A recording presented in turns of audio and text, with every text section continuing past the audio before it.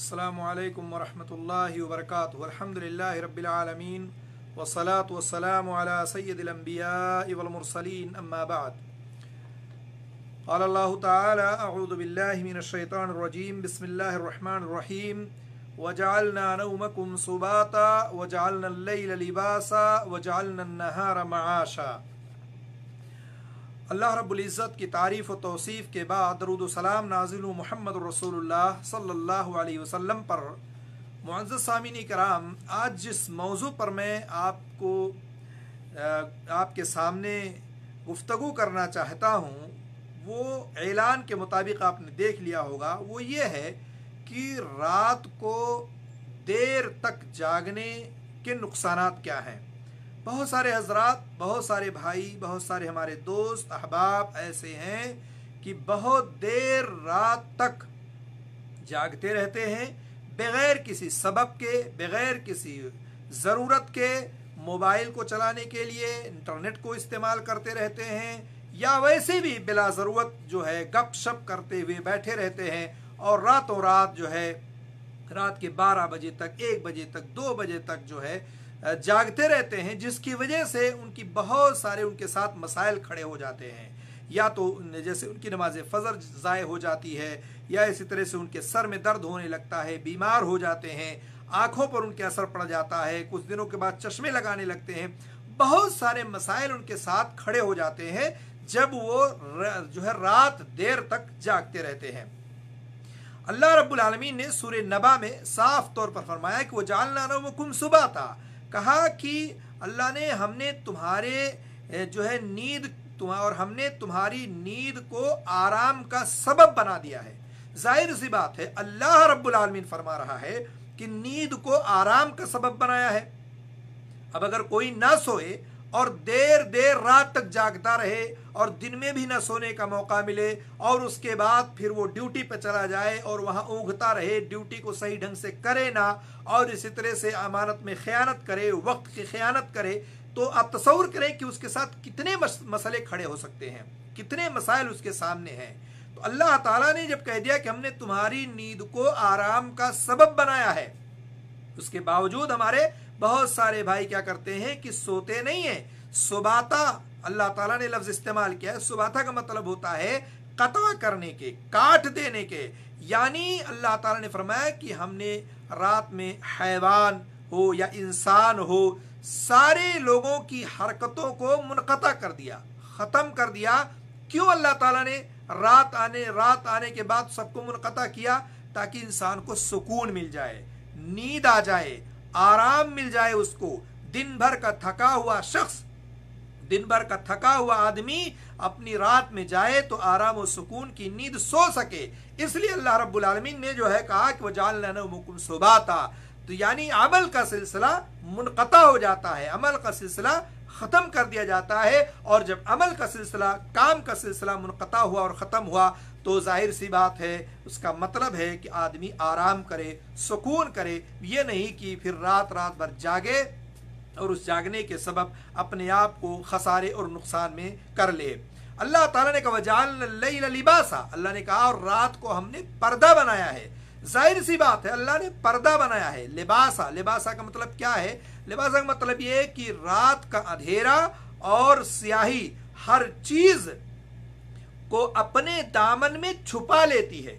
जितनी भी दिन में चीज़ें नज़र आती हैं आपको, रात की सियाही और तारीखी जो उसको अपने अंदर सुमो लेती है और छुपा लेती है, उसी तरह से, जिस तरह से इंसान के जिस्म को लिबास छुपा लेती है। अल्लाह ने कहा वजालला लिबासा। जिस तरह से इंसान के जिस्म को लिबास छुपा लेती है, इसी तरह से रात जब आती है तो दिन में जितनी भी चीज़ें आपको दिखाई देती है, वो रात सबको ढांप लेती है और छुपा लेती है। उसके बाद अल्लाह ताला ने कहा वजाल नहार माशा कहा, अल्लाह ने और हमने जो है दिन के वक्त को रोजी रोटी हासिल करने के लिए बनाया है। तो ये दिन जो है, रोज़गार के लिए अल्लाह ताला ने बनाया है। ज़ाहिर सी बात है, माश ये बहुत ज़रूरी है। हर इंसान की ज़रूरत है कि वो रोजी कमाए, रोटी कमाए। माश का मतलब होता है कि वो दिन को अल्लाह ने जो रोशन बनाया है, ताकि उसमें भाग दौड़ करे, कस्बे माश के लिए, रोजी रोटी के लिए, ड्यूटी करे, नौकरी करे, जद्दोजहद करे, ताकि अपने लिए, अपने बच्चों के लिए, अपने अहलयाल के लिए घर वालों के लिए कुछ इकट्ठा करे और फिर वो उसमें से खा सके और अपने घर वालों को खिला सके। इसलिए अल्लाह ने कहा वह जाल नहारा माशा। हमने अल्लाह ने कहा, अल्लाह ने कहा कि हमने दिन को रोजी रोटी का ज़रिया बनाया है। तो दिन अल्लाह ने इसलिए बनाया है और रात को सोने के लिए बनाया है। और हमने क्या कर लिया कि हम दिन को सोते हैं या दिन को काम करते हैं और रात को भी जागते और रात को भी आराम नहीं करते और सुकून नहीं करते हैं। इस जमाने में अगर आप देखेंगे मौजूदा हालात में, मौजूदा अवकात में देखेंगे आप तो जहाँ बहुत सारी बुरी आदतें लोगों के अंदर घर कर गई है, जन्म ले ली है, उसी तरह से इस बुरी आदत का भी लोग शिकार हो चुके हैं।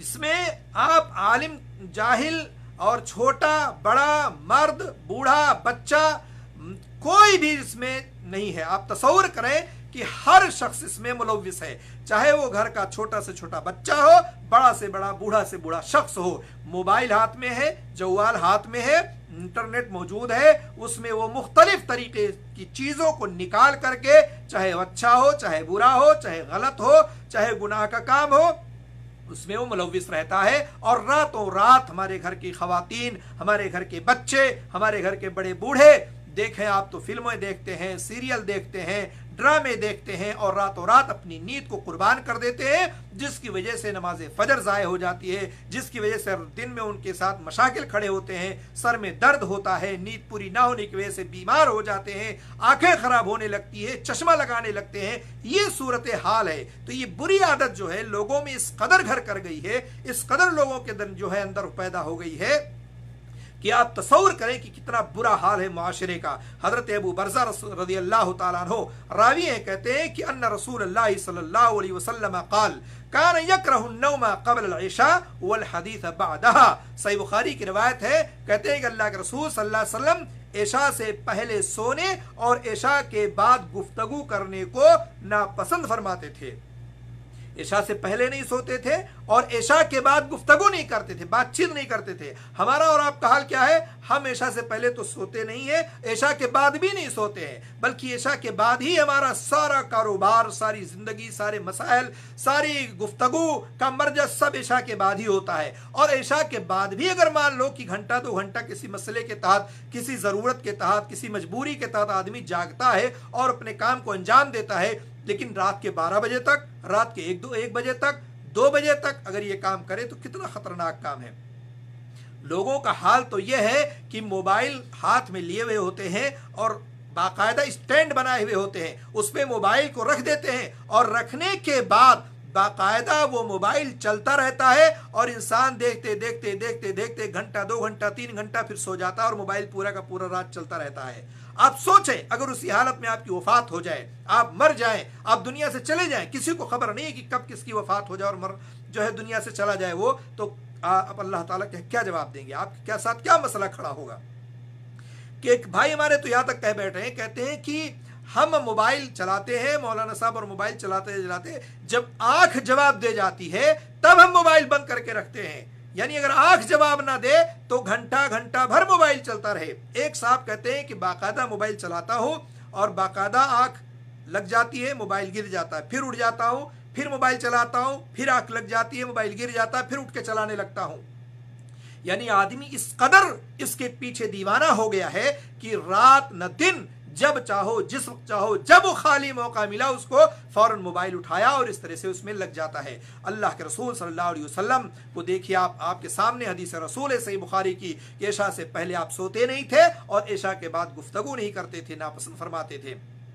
हाफिज इबन हजर रहमहुल्ला ने फरमाया है कि ईशा की नमाज़ से पहले सोना मुमकिन है कि नींद को उसकी सारी तरतीब से दूर कर दे मुमकिन है, या उसको सही वक्त से दूर कर दे, रात को सोने से पहले। और ऐशा के बाद बातें करना मुमकिन है, उसे नमाज़ फजर से महरूम कर दे।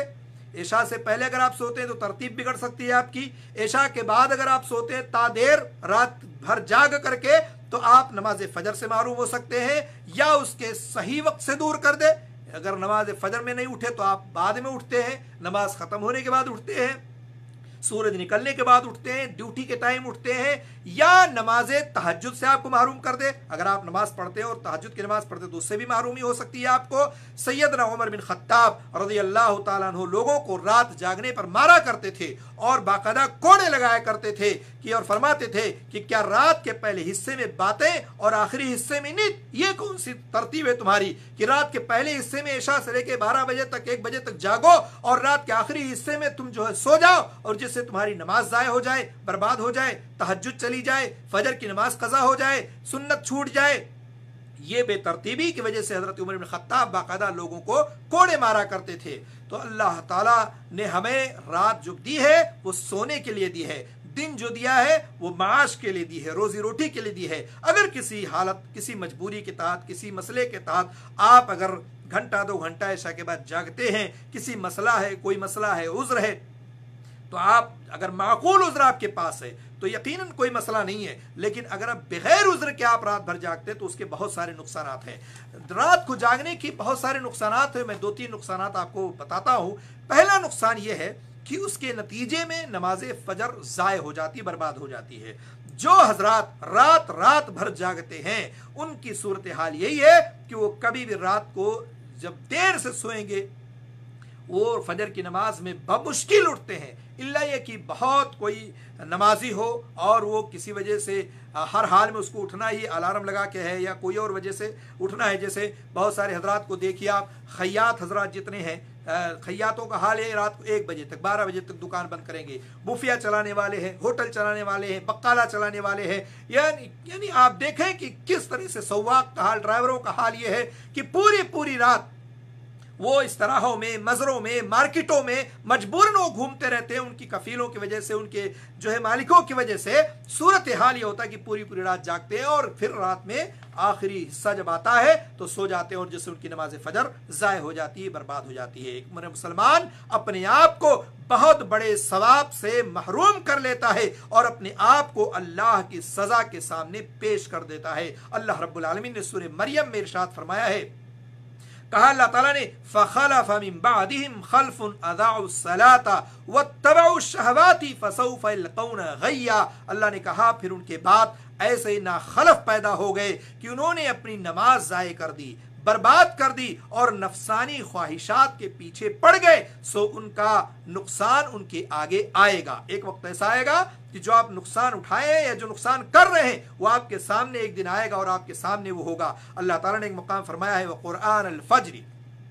इन कुरान अल फजरी काना मशहूदा, और फजर का कुरान पढ़ना भी, यकीनन फजर के वक्त का कुरान पढ़ना हाजिर किया गया है।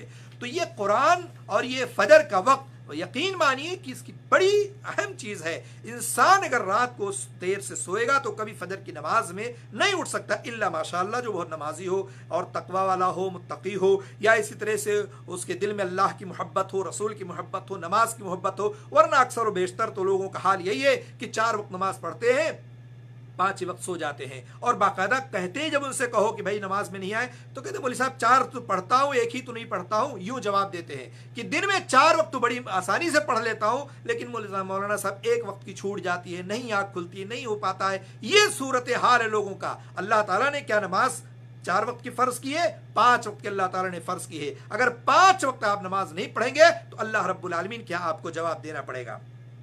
हज़रत जुंदुब बिन जुनाद रज़ी हज़रत जुंदुब बिन अब्दुल्ला रज़ी अल्लाह रवायत करते हैं कि अल्लाह के रसूल सल्लल्लाहु अलैहि वसल्लम ने फरमाया, मन सलात सुबह फहुवा फ़ी जिम्मतिल्लाह जिसने सुबह की नमाज़ अदा की, वो अल्लाह के जिम्मे हो गया, अल्लाह की निगरानी में हो गया। फला यतलुबन्नकुम अल्लाह मिन जिम्मतिही शैउन अल्लाह ताला तुमसे अपने जिम्मे के हवाले कोई चीज़ मुतालबा नहीं करता है।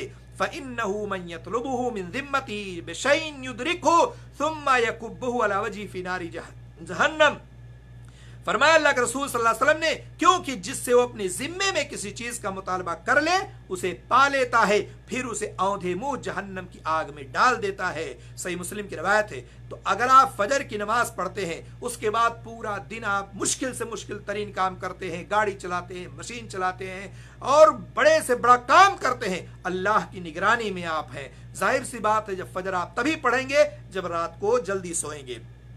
रात को जल्दी सोने की वजह से आपकी आँख आसानी से खुलेगी और नमाज़ फजर आपकी कजा नहीं होगी और अब आसानी अब नमाज़ को पढ़ सकते हैं। हज़रत अम्मारा बिन रोइबा रदी अल्लाह तआला रिवायत करते हैं कि अल्लाह के रसूल सल्लल्लाहु अलैहि वसल्लम ने फरमाया, लन यलजन्नार अहदुन सल्ल क़बल तुलूइ शम्स व क़बल गुरूबिहा, यानी अल फजर वल असर। ये भी रिवायत सही मुस्लिम की है। कहा, वो शख्स हरगिज आग में दाखिल नहीं होगा जो सूरज निकलने और उसके गुरूब होने से पहले नमाज़ पढ़ता है। यानी फजर की नमाज़ और असर की नमाज़। अब आप तस्वूर करें। अगर आप चाहते हो कि आग से बच जाए, अगर चाहते हो कि आग में दाखिल ना हो, जहन्नम से मुझे बचा लिया जाए तो आपको फजर की नमाज़ पढ़नी होगी, असर की नमाज़ पढ़नी होगी, और अल्लाह ताला ऐसे बंदे को जहन्नम में नहीं डालेगा जो बंदा फजर और असर की नमाज़ पढ़ता है। ये हुआ पहला नुकसान। दूसरा नुकसान है, फजर की नमाज़ ना पढ़ने का। देर रात जागने की वजह से ऐसी नींद आती है कि वह लोग जो तहजद पढ़ते हैं, जो कयामुल्लैल करते हैं, अल्लाह, ऐसे लोग, उनको तहजद रह जाता है। अल्लाह ताला अपने नेक, मुत्तकी बंदों का तस्करा इन अल्फाज के साथ करता है। फरमाया, अल्लाह ताला ने सूर्य जारियात में, कानू कलीलम मिनल्लैल अल्लाह ने कहा, वो रात को बहुत कम सोया करते थे और वक्त सहर इस्तगफार किया करते थे। ज़ाहिर सी बात है, जब इंसान रात को उठेगा कयामुल्लैल करेगा, एक तिहाई में, दो तिहाई में, या एक रकात, दो रकात, छह रकात, आठ रकात, दस रकात जितना उसको मौका मिला, उसके बाद सहर के वक्त क्या करता है? इस्तफार करता है, अल्लाह को याद करता है, तोबा करता है, रोता है, गिड़गिड़ाता है। तो अल्लाह रब्बुल आलमीन ने ऐसे मुत्तकी बंदों का तस्करा यहाँ पर किया है कि ये वो लोग होते हैं जो अल्लाह के नेक बंदे होते हैं। एक मुकाम पर अल्लाह ताला ने सूर्य सजदा में फरमाया है, ततजाफा जुनूब मसाजिद, यदऊन रब्बहुम खौफम व तमा व मिम्मा रज़क़नाहुम युनफिकून। उनकी करवटें अपने बिस्तरों से अलग रहती हैं, अपने रब को खौफ और उम्मीद के साथ पुकारते हैं। और जो कुछ हमने उन्हें दे रखा है, वो खर्च करते हैं। ज़ाहिर सी बात है, जो अल्लाह के नेक बंदे होंगे जल्दी सोएँगे ईशा के बाद, और उसके बाद रात के आखिरी हिस्से में उठेंगे बिस्तरों से अलग हो जाएँगे, कयामुल करेंगे, अल्लाह से दुआ करेंगे इस्तफार करेंगे, और अल्लाह ताला ने उनको जो कुछ दे रखा है वो उसको खर्च करते हैं और अल्लाह के रास्ते में लोगों को देते हैं। इसके बाद हज़रत सहर बिन साद रदी अल्लाह तु की रिवायत बयान करते हैं कि हज़रत जबराईल सलाम नबी करीम सल्लल्लाहु अलैहि वसल्लम के पास तशरीफ़ लाए और फरमाया, कहा, या मोहम्मद, इस, या मोहम्मद, इश माशेता फ़इन्नका मय्यित वअमल माशेता फ़इन्नका मुजज़ी बिही, व अजिब, और कहा, मन शेत फ़इन्नका मुफारिकुहु वअलम अन्न शरफ अलमुमिन क़यामुल्लैल व इस्सुहु ये रिवायत मुस्तदरक हाकिम में है अल्लाह अलबानी ने इसको सिलसिलत में ज़िक्र किया है फरमाया कि ए मोहम्मद सल्लल्लाहु अलैहि वसल्लम जब तक चाहे आप अपनी ज़िंदगी गुजारें बेशक आप वफात पाने वाले हैं। यानी इससे भी पता चला कि अल्लाह के रसूल सल्लल्लाहु अलैहि वसल्लम भी दुनिया से जा चुके हैं। जो लोग कहते हैं अल्लाह के रसूल दुनिया से नहीं गए हैं, पर्दा कर गए हैं और उनको इतना कहते हो कि अल्लाह के रसूल मर गए हैं। ऐसा नहीं है। अल्लाह ताला, अल्लाह के रसूल की सदीस में आप देख सकते हैं कि अल्लाह के, अल्लाह ताला फरमाता है मोहम्मद, जब तक चाहे आप ज़िंदगी गुजारें। बेशक आप वफात पाने वाले हैं और आप जो भी अमल करें, उसकी जजा पाने वाले हैं, उसका बदला पाने वाले हैं। और आप जिससे चाहे मोहब्बत करें, दुनिया में एक न एक दिन उसे छोड़ने वाले हैं। और जान लो, मोमिन की आजमत नमाज़ तहजद में है और उसका मुकाम लोगों से बेपरवाही में है। तस्वूर करो, इस हदीस करीम में साफ़ बताया गया कि अगर इज़्ज़त चाहते हो तो रातों को उठो। कयाम लैल करो, रातों को जागो, अल्लाह के सामने दो, चार, छह रकात पढ़ो, रातों रात मोबाइल चला करके अपनी ज़िंदगी को खराब ना करो, अपनी आँखों को खराब ना करो। जब मौका मिले आपको रात के बारह बजे के बाद, एक बजे, दो बजे, तीन बजे, चार बजे, फजर से पहले पहले तो दो, चार रकात पढ़ो, अल्लाह से दुआ करो इस्तफार करो, अल्लाह ताला इज़्ज़त देने वाला है। और अल्लाह ताला जिसको इज़्ज़त दे दे, उसको कोई दुनिया में जलील नहीं कर सकता है। तो ये सूरत हाल है, और इंसान को चाहिए कि इंसान रात को उठे और ज़रूर क्यामुल्लैल करे। तीसरा नुकसान ये है कि बेफायदा वक्त का ज़ाय करना कोई फ़ायदा नहीं है, बल्कि नुकसान है, बल्कि गुनाह का काम कर रहा होता है। कयामत के दिन बंद, कयामत के दिन बंदे से इस वक्त के बारे में पूछा जाएगा, सवाल किया जाएगा। जैसा कि अब हज़रत अबू बरजा असलमी रज़ी अल्लाह तु की रिवायत है कि क़यामत के दिन बंदे से सवाल किया जाएगा। अल्लाह के रसूल ने पूछ, सवाल किया। अल्लाह के रसूल ने फरमाया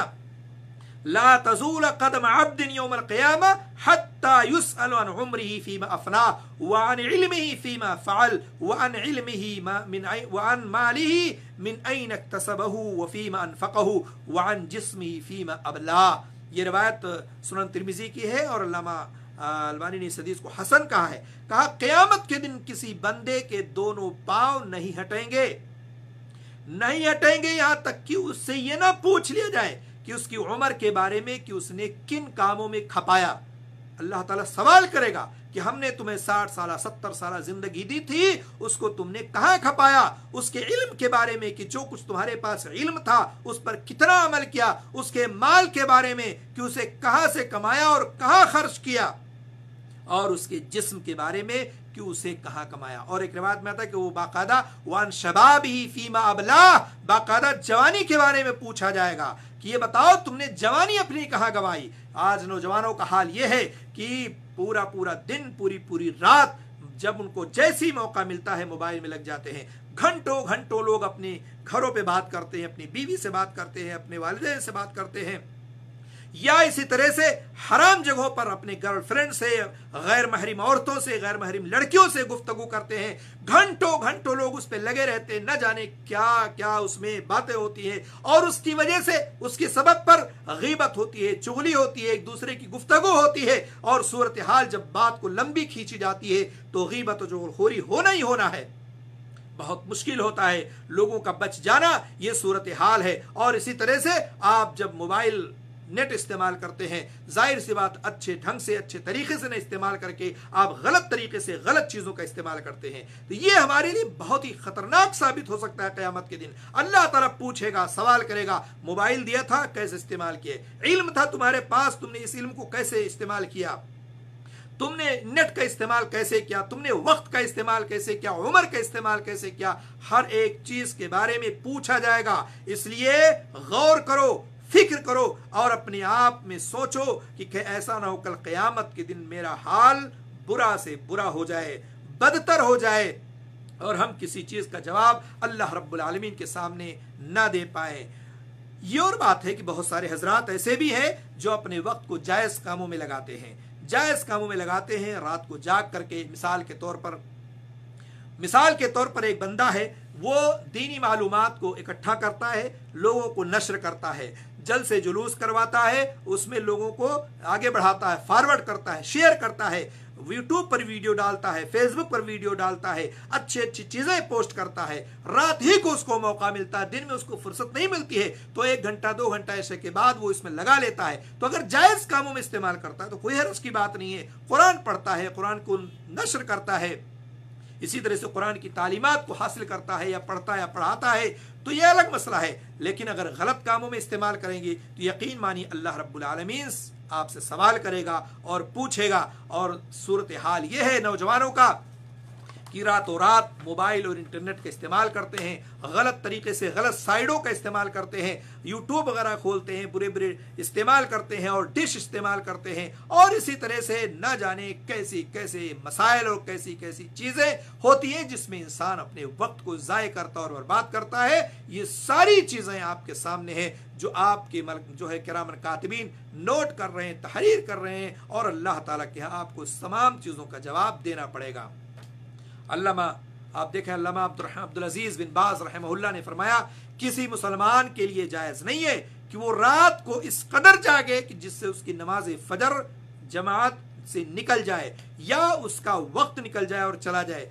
भले ये जागना कुरान करीब की तलावत में हो, भले ये जागना जल से जुलूस के लिए हो, भले ये जागना इल्म हासिल करने के लिए क्यों ना हो। हमारे यहाँ मुआशरे में देखें आप, रातों रात लोग जलसा करते हैं। जलसे में लोग आते हैं, इस्तेमाल करते हैं। बड़ी बड़ी जमात बड़े बड़े ओलमा बड़े बड़े दुआत और बड़ी बड़ी मजलिसें कायम होती हैं। लेकिन रात के एक बजे तक, दो बजे तक, बारह बजे तक प्रोग्राम होते हैं और उसके बाद 90 परसेंट लोगों की नमाज़ फजर जाय हो जाती है, बर्बाद हो जाती है। जो मकसद था, वो मकसद खत्म हो गया। जिस मकसद के लिए इकट्ठा हुए थे, वो मकसद जाय हो गया और बर्बाद हो गया। तो अजी साथियों और दोस्तों, हमें चाहिए कि हम ज़रूर इस्तेमाल करें अपने वक्त को, लेकिन हम अपनी नमाजों को जाय ना करें। गलत तरीके से, गलत ढंग से अपने वक्त को बर्बाद ना करें। और इसी तरह से जो शख्स गलत, यानी अल्लाह नवाज़ कहते हैं कि अगर कुरान, तिलावत, इल्म हासिल करने के लिए अगर वो इस्तेमाल करता वक्त को, और उसके बाद वक्त ज़ाय करता है, और यानी फजर की नमाज़ तर्क हो जाती है तो गुनहगार होगा। लेकिन जो आदमी गलत ढंग से अपने वक्त को इस्तेमाल करता है, जैसे डिश में, टीवी में, मोबाइल और जवाल में, या इसी तरह से प्रोग्रामों में गलत तरीके से और अपने जो है मोबाइल में गलत चीज़ों को देखता और सुनता है तो आप तस्वर करें कि वो किस तरह से कितना गुनहगार होगा और कितना अल्लाह रब्बुल के यहाँ जवाबदेह होगा। इंसान अल्लाह ताला की सज़ा का मुस्तक होगा, उसके साथ साथ वो हुकूमत की तरफ़ से मिलने वाली ऐसी सजाओं का भी मुस्तक होगा, जो उसे गुनाह से बाज रख सके, रोक सके, ताकि दूसरे लोग भी इबरत हासिल कर सकें। चौथा नुकसान ये कि रात जागने से जो सेहत का नुकसान होता है, वो बहुत ही बड़ा होता है। इंसान सेहत के एतबार से बहुत बड़े खसारे में हो जाता है। आम तौर से देखिए लोगों का हाल। आँख का हाल इतना बुरा है लोगों का, छोटा हो, बड़ा हो, बच्चा हो, बूढ़ा हो, जवान हो जिसको आप देखें कि आग की रोशनी तकरीबन अक्सर व बेशतर लोगों की कहीं ना कहीं घटती जा रही है।